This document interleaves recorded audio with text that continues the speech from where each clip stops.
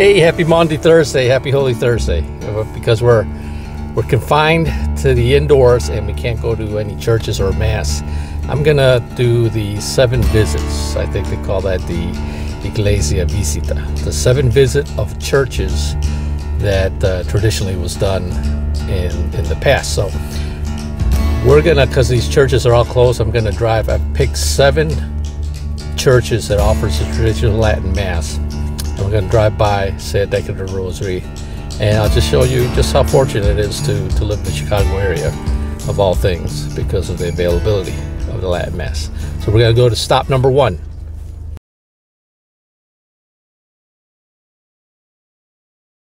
St. John Vianney. First stop, we're going to commemorate. Uh, we're going to we're going to commemorate the the Garden of Gethsemane, the time Jesus spent at the Garden of Gethsemane. Here we are at our first stop here. This is St. John Vianney in Northlake, Illinois. A perfect spot here to say a decade of rosary right in front of Our Lady. Well, our neighborly dog there greets us.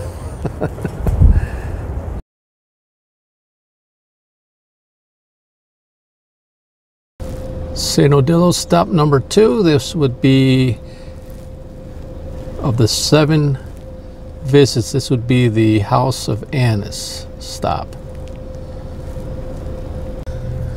All right, this is stop number two of the seven visits. So, of the seven visits, this would be uh, the House of Annas. The House of Annas. Now, St. Odilo's here is in Berwyn, Illinois. Uh, they also have the Latin Mass. They have wonderful priests here, a very uh, Orthodox diocesan priests. Uh, next to it is the church, is a school, St. Odilo's uh, Elementary School. And one cool thing about this school, I've been here on the weekday masses several times, and all the students here, they go to mass every day before before class, which is uh, I've never uh, I've never never really seen that for a grade school, but wonderful church. Stop number two, St. Odilo.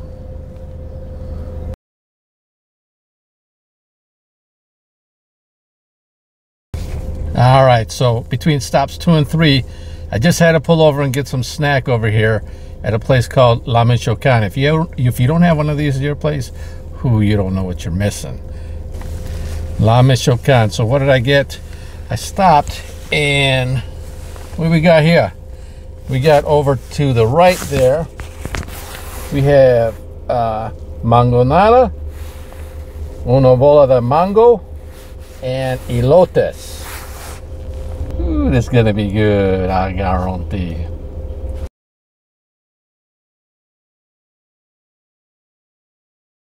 Well, we're at stop number three, and I don't have to say too much about this church. Check out the uh, the posting I just had about the uh, the number one pick for for uh, Latin Mass streamed live stream Latin Masses. This is St. John Cantius here, here in Chicago.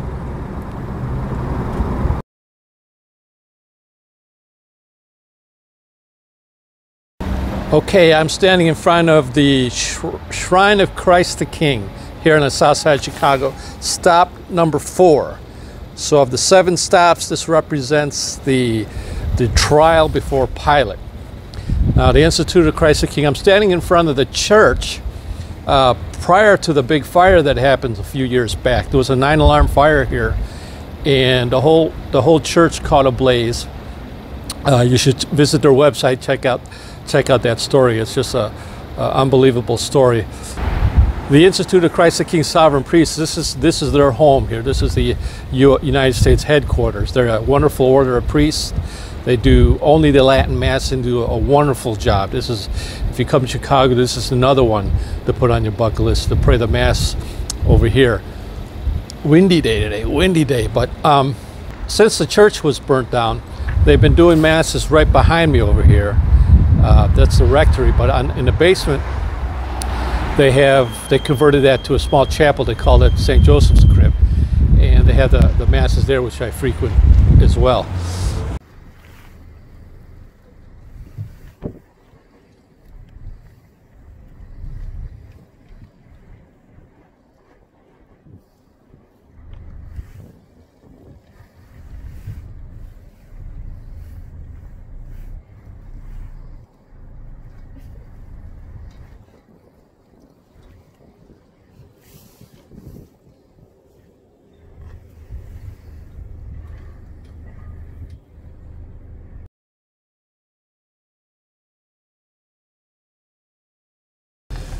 Well, it's night now, and we are coming up to stop number five. So, stop number five, this would be of the seven stops representing the trial before Herod. And this is St. Joseph here in Rockdale, Illinois. St. Joseph is the uh, FSSP church here in uh, Chicagoland area. That's a fraternal society of St. Peter. And for those of you who don't know, they do only the traditional Latin Mass. They uh, are another wonderful order of priests. And uh, looks like they're doing some work, some construction in the front here.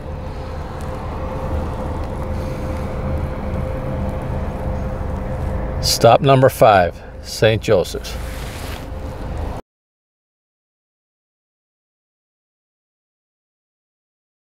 All right, so now we are at stop number six. This is Holy Angels Church in Aurora. They also have the traditional Latin Mass. This is stop number six, which represents in our seven stops the moment when Christ went from Herod back to Pilate.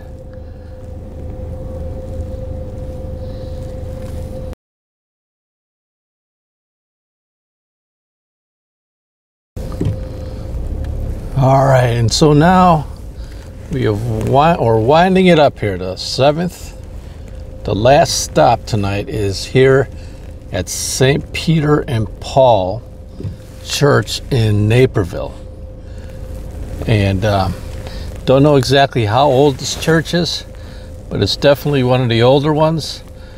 And I know that because it is ad orientem. The altar your face is you're facing east.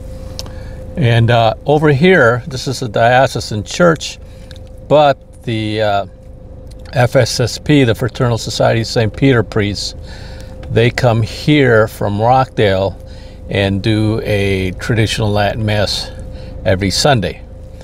So this is stop number seven of the seven stops that would represent uh, Christ going from Pilate to Golgotha. So this would be Calvary. And this is the seventh and final stop of the evening. So that's the conclusion of the uh, Iglesia Visitas, seven visits to churches that uh, offer the traditional Latin Mass. Now, we could have went to more because there's we didn't go to one in Volo. That's a Canon's regular St. John Cantius over there. We didn't go to there's one in Oak Park. Uh, there's one up in uh, Skokie. That's three others. That would have made ten. Uh, and also within an hour though it's it's, across the border but it's still within the hour. There's uh, in indiana and uh, yeah there's oh and then there's also in, in rockford. The institute of christ the king also has an oratorio in rockford. That's 11 so that's 11 masses that that's available here in the chicagoland area for me within within about an hour's drive, and, and some of them much closer than that. But so you know when you when you think about all the crazy stuff here in Chicago, the politics and everything else, and uh, it's it's more or less kind of like a Gomorrah by the lake. One has to look at the silver lining on that, and that definitely is a silver lining. You got you got 11 churches, and there's I think there's a few more that I don't know of, but uh, there's probably a, a, few more that I missed. Not to mention uh, Milwaukee, which is a, an hour and a half. That's uh, that's another one that's not too far. So we're we're pretty blessed up here, and uh, I really feel for a lot of you who I've seen comments who don't have a Latin Mass. The nearest one is like three hours, or just don't have it. And uh, so you got to pray, keep praying that uh, Holy Mother Church returns back to her roots and that this whole big experiment with the new mass somehow uh, makes way back to to uh, connecting to the our Catholic roots through the liturgy, through the ancient mass. So, hope uh, you had a great Holy Thursday. Have a blessed Good Friday tomorrow, and more, and, and have a very blessed and, and wonderful Easter. Although it's going to be a bittersweet Easter. You know what I mean? Okay, God bless you. Hey, this is Rex. If you like this video, please give me a thumbs up, hit the like button, and subscribe. And don't forget to hit the bell button too so you get notified on future episodes. So until next time, God bless you.